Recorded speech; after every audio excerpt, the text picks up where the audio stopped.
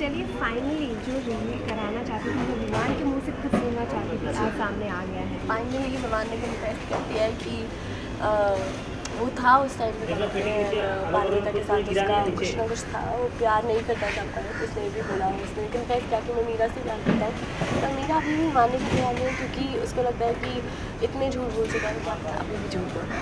But विमान पूरी तरह से ये साबित करने की कोशिश कर रहे हैं कि उन्होंने गोली नहीं चलाई है। बट मीरा है कि सुनने को तैयार नहीं है। नहीं मान रही क्योंकि मीरा इस टाइम बहुत गुस्से में है। उसको यही लग रहा है कि ऐसा नहीं हो। सकता इतने झूठ बोल सकता है तो अभी दोबारा झूठ ना बोल रहा हूँ।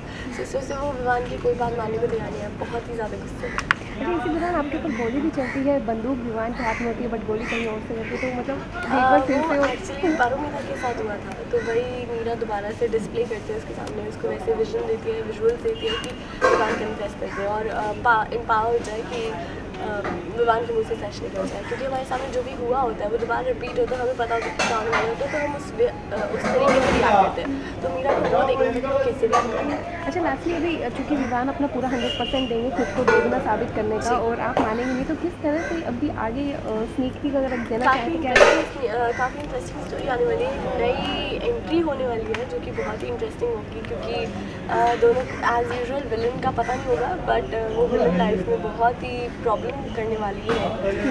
और जो कि काफ़ी इंटरेस्टिंग होता है देखने में।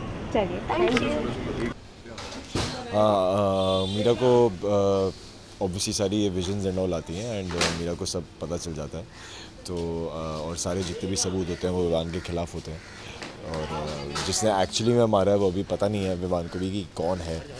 तो विवान शायद वो पता लगाने की कोशिश करे। और यहाँ पर हमने जी देखा कि गोली चला रहे हैं जी। रोकने की कोशिश कर रहे हैं। वो क्या सीन था? सडनली गोली और चला रहा हाँ। गोली मैंने एम करी होती है पर पीछे से गोली कोई और चला देता है।